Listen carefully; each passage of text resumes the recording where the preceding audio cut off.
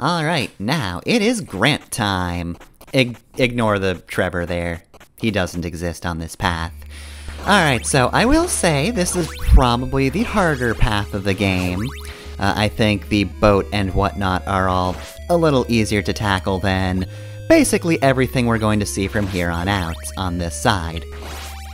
That being said, that being said, there's a guy on fire.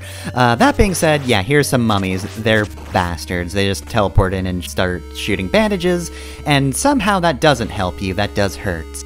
But yeah, platforming's harder, the gimmicks are harder, and the enemies are just a pain. Thankfully, the little acid drips from the ceiling don't hurt you until they're actual orbs, or Grant would have a hard time due to his incredible jump that he gets from being so fast. Uh, so, I actually, surprisingly enough, haven't talked about uh, the Netflix series all that much. I do really like the series, uh, but I bring it up now because, of course, uh, we're playing as Grant, and Elephant in the Room, uh, Grant makes no actual appearance in the show itself.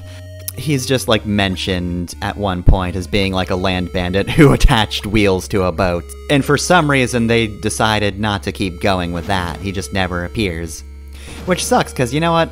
Grant's probably the least popular character in this game, but he's a weird little guy, and I feel like we should appreciate him for that. I feel like that makes him unique and special. And if I remember correctly, uh, the main reason Grant didn't get on is because uh, Warren Ellis didn't like his name, which. Eh, it's kind of a dumb reason not to include a character, but that's not actually the worst thing that Warren Ellis has done, so. Uh, I guess I can't complain about that too much. Ah, if only I could live in the world where that weren't the case.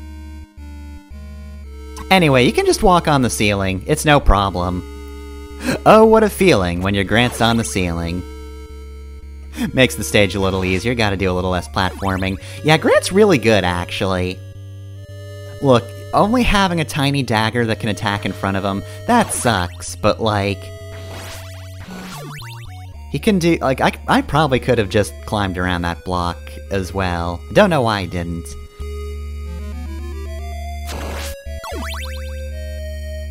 But yeah, just being able to platform well is just so good, and huh, that's weird, that's a coffin. But who could be in this coffin? Bats. Uh, oh my goodness, it's Dracula! I, how could he be here and not in his castle? Well, we better throw axes at him, but yeah, no, I remember that attack pattern uh, from, you know, Sonia Belmont's time. That's definitely a Dracula if I ever saw it. So, uh, I guess Grant is gonna be the one to save Wallachia and eventually the rest of the world. Dracula would get around to the rest of the world eventually. It's just Wallachia's kind of in the firing zone right now, so that's what's important.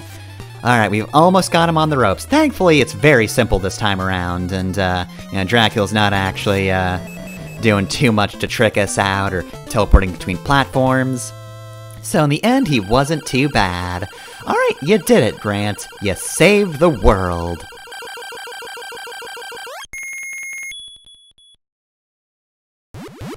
Oh wait, what's this? That's right, second form, of course! However, this is in fact not Dracula.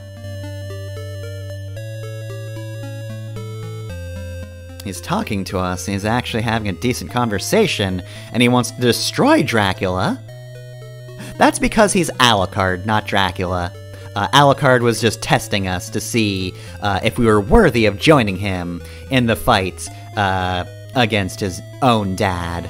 Let's pretend to shake hands with Alucard. Trevor doesn't exist, so uh, this isn't happening right now. Actually, to be fair, I guess this could be happening. Alucard's just like, hey, I got it from here, and Grant's just like, cool, I'm gonna slip out the back and just not do this anymore. I don't want to fight a Dracula, actually. So, um, here's Alucard. He sucks to play as, and he's easily my least favorite character in the game. His only sub-weapon is the stopwatch, so that's gotta drop at some point. Uh, like Trevor, he does have the ability to upgrade his basic attack, which makes it actually useful. Uh, at the moment, I can only fire uh, two projectiles, but once I get another chandelier, uh, I'll be able to get three shots, sometimes. I think part of the problem is uh, this game has sprite limitation problems, so sometimes when you attack with Alucard, he just doesn't, and it's really a pain. he sucks to attack with. He's also good for platforming, much like Grant, however, um, I don't think he's as fun to platform with, and I also decided against uh, doing any platforming with his thing this time because it's boring, and I want to show what it is like to play as Alucard normally, which is to say, bad. is bad. Oh, look, it's another split path. Well, uh, I'm sure uh, those weird ruins at the bottom will be perfectly safe for Grant's trip home, so Alucard is gonna take the top path because he knows where the catacombs of Castlevania are, and he intends to go there. Now, thankfully, despite being so tall, uh, Alucard's hitbox doesn't hit the ceiling, otherwise he would be impaled right there. So, elephants in the Room. Uh, if you've played this game before, or, you know, if, if you've heard anything about this game, you probably know that this isn't normally what Alucard looks like, and that's because I'm actually using a very simple uh, ROM hack. Uh, it is the Alucard Sprite Patch by Wilver uh, that makes his sprite more consistent with what he looks like throughout the rest of the series. I'm mainly doing this because I've already played Castlevania Legends, and he was hot in that one, so I decided I should stick with that. Um, instead of doing, you know, anything that would actually improve gameplay. Uh, that being said, though, while we fight this boss, uh, which is an improved Skull Knight who shoots bones whenever you hit him, and he fucking sucks to fight normally, he's worse to fight as Alucard because Alucard doesn't do any damage. and he's absolutely garbage at actually hitting Skull Knight in the first place and destroying the bones. Anyway, though, yes, while this awful display happens, I should of course show you what Alucard actually looks like in this game normally, which I'm pretty sure I already did for Castlevania Legends.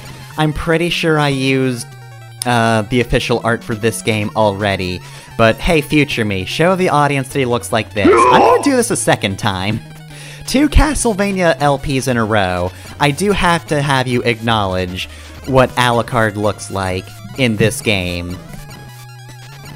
I mean, he looks more like a vampire would normally, in most cases, but it's now funny because Alucard is a Bishonen. So, him just looking like some middle-aged dude who bought a Halloween costume is funny, actually. Anyway, though, that sucked, so next time let's get back to a better party.